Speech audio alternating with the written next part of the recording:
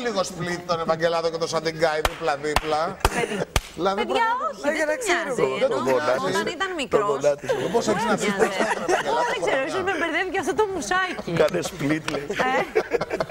Ε, Άκου. Πάντως η κορμοστασιά είναι της Τατιάνας που είναι ψηλός και αυτή Όπως και να έχει, πάντως παιδιά το λυπήθηκε ο Αντώνης Ρε. Μου σου λέει τους έρχεσαι ζήσει. ξανά, έρχεσαι φεύγει άπραγο. Έλα από το μαγαζί να σου πω ρε παιδί μου δύο πράγματα. Έλα και να μας το πρώτο Το και στο παιδί δεύτερο. έχει φωνή.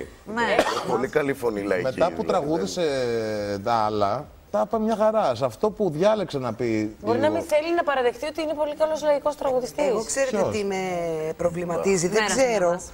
Όταν βρίσκεσαι σε αυτή τη θέση που θα πρέπει να πατήσεις ένα κουμπί ή να μην το πατήσεις, ε, το κριτήριο αν είναι αποκλειστικά και μόνο αυτό το τραγούδι που τραγουδάς εκείνη τη στιγμή ή την προοπτική που ακούς Όχι, σε κοίταξε ένα να δεις. τραγουδιστή. Εγώ πιστεύω ότι όταν έχεις να πατήσεις το κουμπί, είσαι σε τόσο πολύ δύσκολη θέση πραγματικά. Αν δεις τη δέσποινα πόσο υποφέρει.